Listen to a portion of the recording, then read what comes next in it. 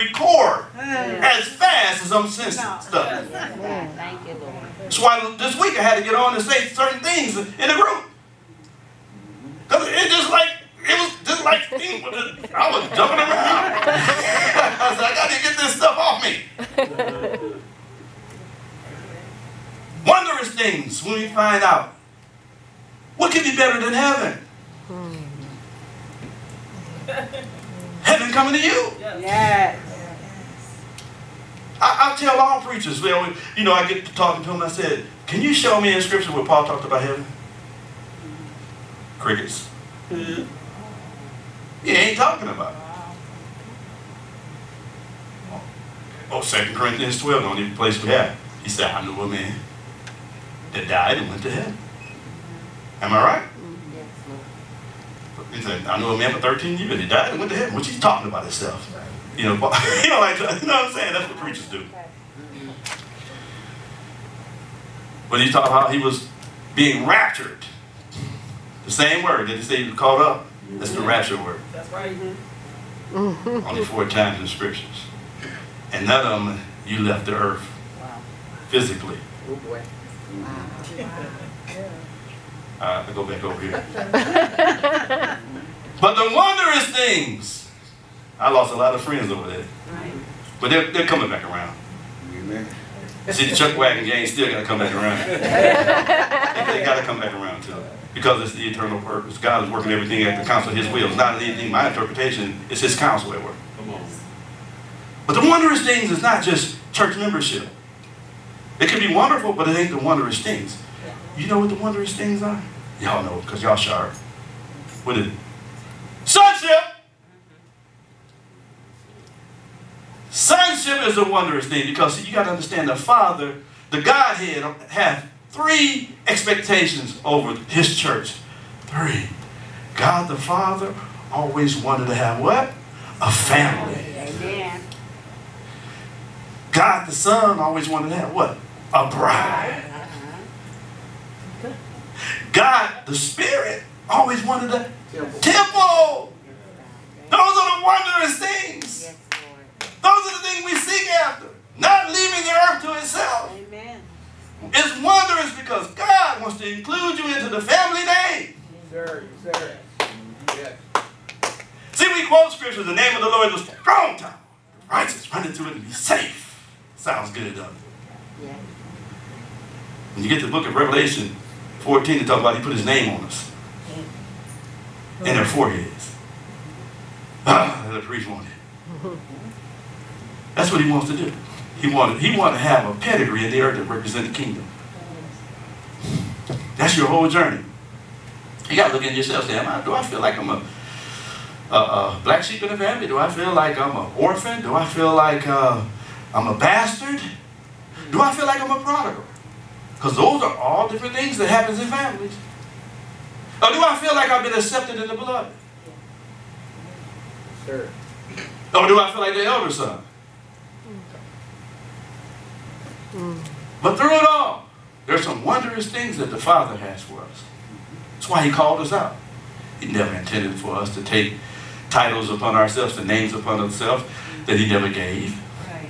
He never wanted us to be Baptist, Lutheran, Episcopalian, non-denominational. He never wanted us to be that. That's what denominate means to make more. We pride ourselves in it though. Man, I go to a non-denominational church. All our backgrounds, I, I'm COGIC. I was raised COGIC. I'm a die. People say that. I'm a die COGIC. Yeah. No, you ain't. You ain't gonna die COGIC. It's probably a name. When you get to heaven, God ain't gonna ask you, uh, what's your religious affiliation? No. See, dividing the whole, numbering the nations. And that's what we done. We numbered the nations. So the nation is divided. The house is divided. See, when we all get together under one umbrella, Jesus Christ is Lord, you talking about the earth groaning? You see, some of us secretly want to see the manifestation of God. Am I right? We need hearing like yesterday. We need blind eyes open like when? Yesterday. We need deaf ears open like when? Yesterday. We need to see the ministry that Jesus operated in like when? Yesterday. Amen. The world is languishing. It's in complete chaos and turmoil. Because nobody want to stand up, step up to the plate. Can't you hear it in the spirit? Yeah. Who shall I send? But which one of us is going to say, Here I am, send me? We'll settle out of court. If I can just get one of those five gifts, I'll be good. Apostle, probably evangelist, that's, that's me. It's, a, it's an expiration date on those five. Amen. Until we come to the unity of the faith. That's why I ain't gung ho. That's what they call me. But I'm a son before anything. This is my son in whom I'm well pleased. Yes. That's what that's what I hear in my belly continuously Yes. from the Father. When he talked to me, he don't call me by my title. Amen. He ain't worried about my DDSs and PhDs. Come on now, that's good. Amen. Those are fig leaves. Yes. Sir. God want to know the man that's on the inside, the hidden man that's on the inside of us. That's the man he communicates with. Spirit bearing witness with our spirit. He wants to minister to that part. Amen. Ooh, that eternal part. You get what I'm saying? I, I, I'm all over the place, but I'm hoping I'm speaking.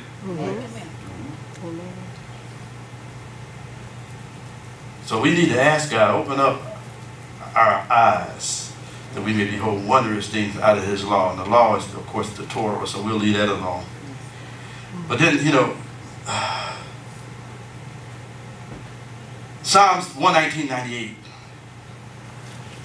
Yeah, Psalms 119.98. I don't know if I said that. I'm going to say 198. It ain't no 198. 98. I'm almost done, you guys. I got six minutes. Is that okay? I noticed on the videos, I, I get, I've, I've been giving five videos lately, so hey, who's counting?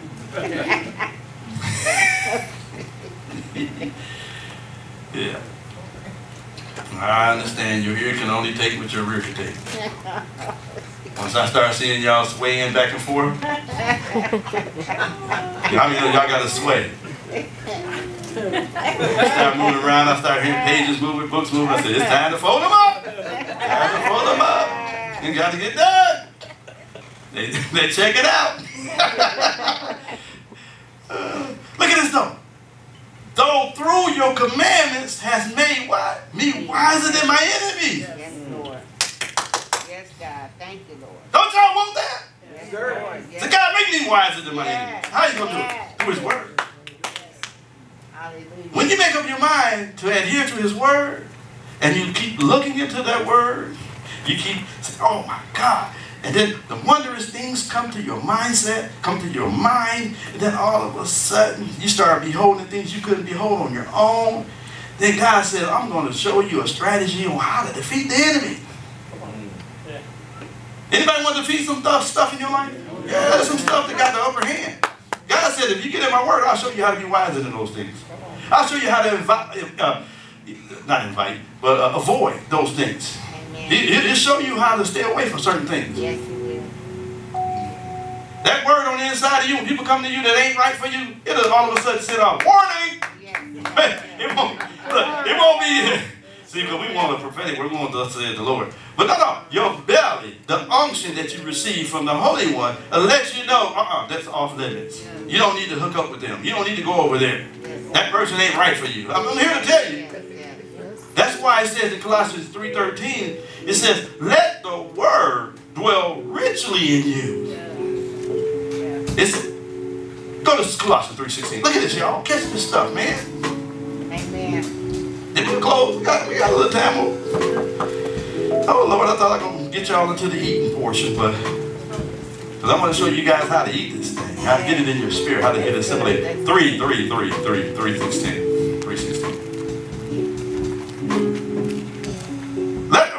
Of Christ do what? Dwell in you richly.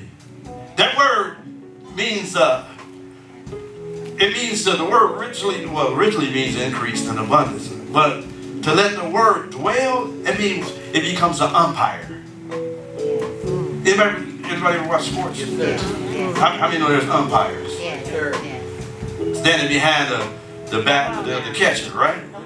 When the ball comes, he says, strike, ball,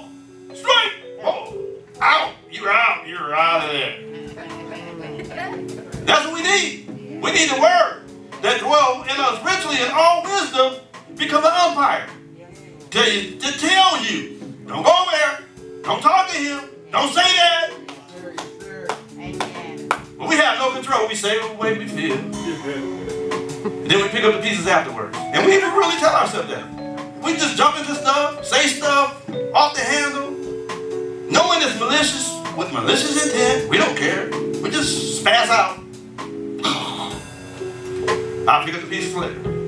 But sometimes the damage Yeah. is so great, ain't nothing left. And even if they still staying with you, it has brought harm to you. Churches, church splits, all that stuff. Because people just feel like it's their right to say certain things. Yeah, constitutional. it ain't right spiritually. It's not for your well-being. Some things need to be able to dwell in you, teaching and admonishing one another, psalms, hymns, spiritual songs, singing with grace in your hearts to the Lord. All of those things that should happen. But I, I want to just highlight that first portion. An umpire, it needs to be in us richly. Why? Because it's going to make us wiser than our enemies. Yes, Go to Psalm 17 and 4. We'll close right here. 17 and 4. 17 and 4. God wants us to be wiser than our enemies. That's why Jesus was able whenever the Pharisees would come up against him, to catch him in his word, how many know he would turn it back on them?